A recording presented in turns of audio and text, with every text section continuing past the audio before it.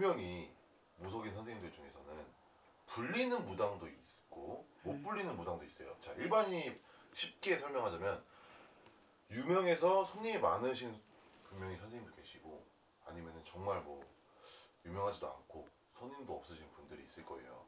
그 두런 이런 두 케이스에 좀 어떻게 보면 특징이 있을까요? 특징점 이런 것도. 일단은 불리는 보살님들은 네.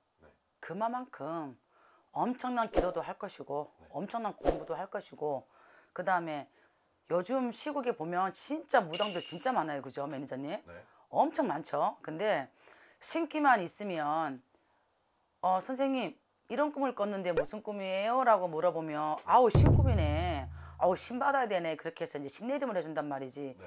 그러다 보니 무당들이 신꿈만 하면 뭐든지 끝나는 줄 알고 다 신내림을 했는데 신내림을 하다 보니 신내림을 해놓고 딱 보니까 먹고 사는 게 안 돼.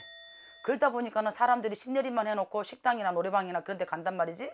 그러면 못 불려 먹겠지. 그죠? 아, 불릴 수 있는 사주가 있고 이렇게 이제 못 불릴 수 있는 사주가 있는데 신기만 있고 사주에 신의 온기가 요만큼만 있어도 선생님들이 신내림을 하라고 하니 그렇게 해서들 다들 신내림을 해. 그러나 시작은 인맥이 있으니까는 어떻게 어떻게 이렇게 이제 먹고 갈란가 몰라. 인맥은 오는 사람들이 어떤 일을 했었고 어떻게 이렇게 이제 살아왔는지 웬만큼 알다 보니까 그냥 이제 짓거려. 짓거리면 다 그게 이렇게 맞단 말이지. 근데 그런 사람들이 딱 끊어지면 손님이 없어. 입소문이 안 나니까 손님이 없단 말이지. 그러면은 어떻게 먹고 살기 힘드니까. 네. 근데 신의 길을 가면서 불리려고 하는 분들은 오로지 할머니 할아버지한테만 의지를 하고 그 다음에 이제 신내림을 했을 시에는 선생님이 있을 거 아니야 그지? 그 선생님한테는 죽기 살기로 매달려야 돼. 죽기 살기로 매달려서 신의 공부도 하고 이 신의 길에서는 할 일이 너무 많아. 진짜 많아야 되고 그 다음에 이 신의 길을 와서 아침 10시 11시에 일어나가지고 할아버지 옥수 발언하고 못 불려 먹어. 아침에 일찍 일찍 일어나야 되고 응? 일찍 일찍 일어나서 옥수밥 옥수 공양하고 기도도 하고.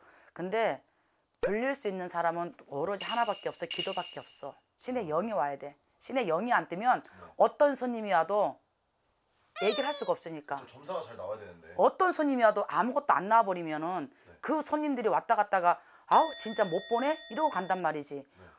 기도밖에 없어. 음. 기도밖에 없어. 그러면은 분명히 불려 먹어. 근데 저는 솔직히 어떻게 들었냐면 음. 신내림을 해, 해주는 신어머니도 좀 문제가 있다라고 좀 그렇게 아. 했거든요.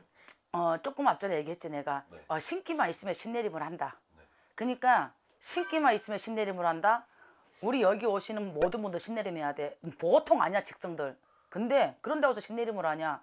그 사람이 정말로 신의 길을 가서 불려 먹을 수 있는 사준지를 알아야 되고 네. 어떤 신령님들이 어떤 어떤 원력을 가지고 오는지도 알아야 되는데 이런 꿈을 꿨어요. 선생님 눈으로 비춰요.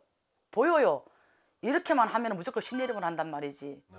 이것도 아니라는 거지. 그러면은 마지막으로 간단하게 네. 잘 불리려면 네. 솔직히 어떻게 해야 될까요? 어, 헛된 짓 하지 마라. 어떤 짓? 노름하지 마라. 바람 피지 마라. 네. 술 미친 사람처럼 먹지 마라. 네. 딱그 다음에 오로지 그냥 일심으로 할아버지한테 애절하고 간절한 마음으로 일심으로 빌어야 돼. 일심으로 기도해야 돼. 그밖에 없어. 일심으로. 명심하세요. 어. 알겠습니다. 감사합니다. 네.